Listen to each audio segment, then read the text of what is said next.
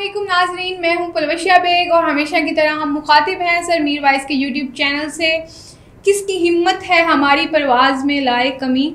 हम परवाज़ों से नहीं, हौसलों से उड़ा करते हैं। 6 सितंबर, योम दिफा, पाकिस्तान की तारीख में बहुत अहम दिन है। जज्बा सितंबर उन्नीस सौ पैंसठ हमारे दिलों में आज भी कायम है।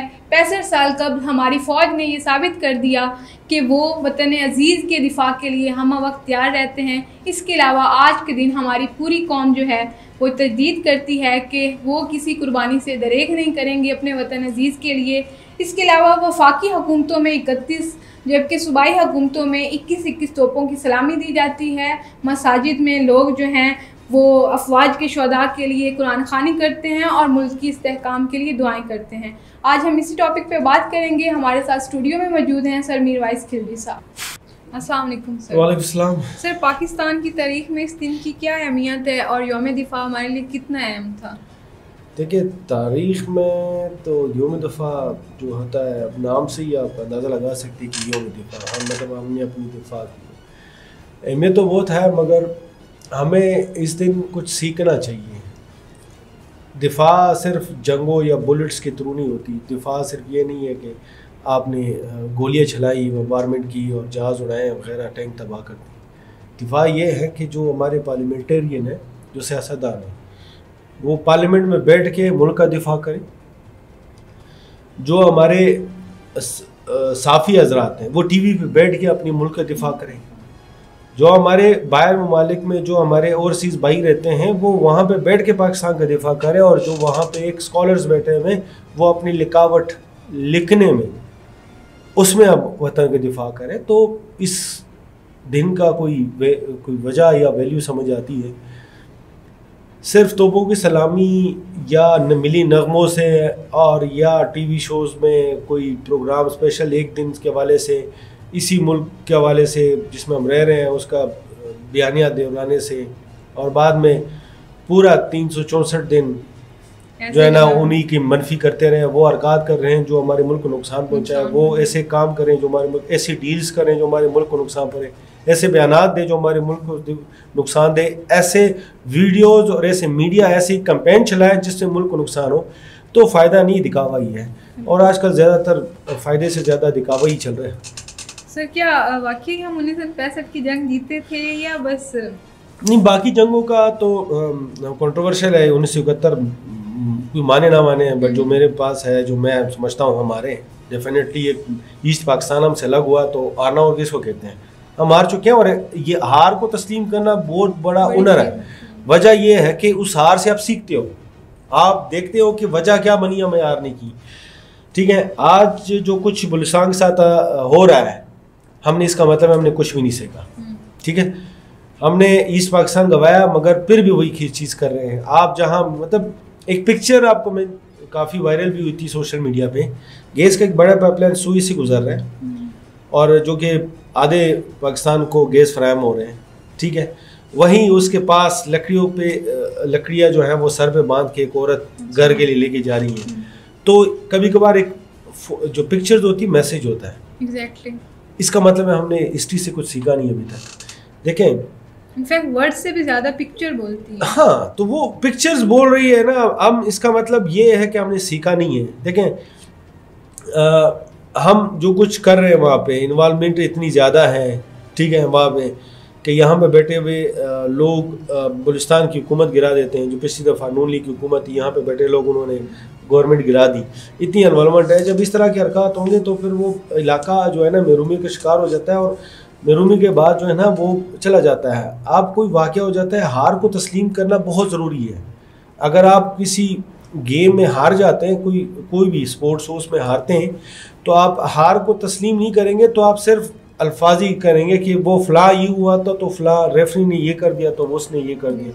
अगर आप हार को तस्लीम करते हैं तो उसके बाद आप जानते हो कि हमसे गलतियाँ काम भी हुई आप अपनी गलतियाँ आइडेंटिफाई करते हो और गलतियाँ आइडेंटिफाई करने के बाद अपने आप उसमें दुरुस्तगी लेके आते हो। तो हार को तस्लीम करना सबसे ज़रूरी थी जो कि हमने नहीं सीखा।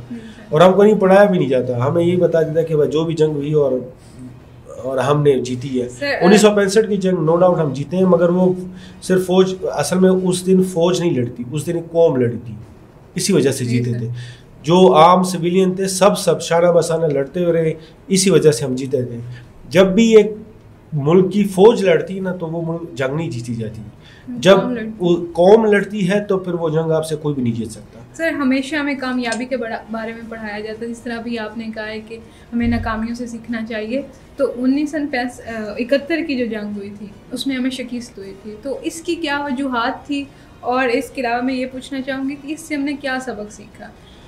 सबक तो खैर कोई नहीं सीखा। सीखा होता तो इस हालत में होते नहीं बहुत कुछ बदल चुका होता। सीखा तो कुछ नहीं है। वजूहत वही है जो अभी है सारा कुछ। पावर सबसे पहले पाकिस्तान अल्फाज होते हैं अमल कोई नहीं। हम्म, हमारी जान पाकिस्तान अल्फाज अच्छे हैं मगर इस अल्फाज में मतलब कोई इस पे अमल दरामद कोई नहीं होता। यही कुछ चलता रहता है। वजूहत तो सबसे ज़्यादा ये थी कि हमारी इंटरफेरेंस यानी कि नो डाउट जो सीट्स थी मेजॉरिटीज अथॉरिटी वो हम एक्सेप्ट नहीं कर चुके। उस एक्सेप्टेंस ना करने की वजह से यही कुछ जो बंग, ईस्ट पाकिस्तान उस टाइम अभी जो बंग, बंगाल है बांग्लादेश तो वो हमसे अलग हुआ क्योंकि वो वहाँ के लोग हमारे साथ नहीं वहाँ के लोग हमारे मुखालिफ बाउंड्री भी बिल्कुल साथ नहीं मिलती थी तो जाने नहीं नहीं नहीं नहीं नहीं नहीं नहीं। अगर हम लोग हमारे साथ होते तो बाउंड्री ना हो आप देखिए अगर दो मुसलमान वाकई में मुसलमान हो तो एक को अंटार्कटिका में बिठा दो दूसरे को जो सऊदी अरब में बिठा दो ना। अगर वो एक पे जुल्म होगा दूसरा बोलेगा।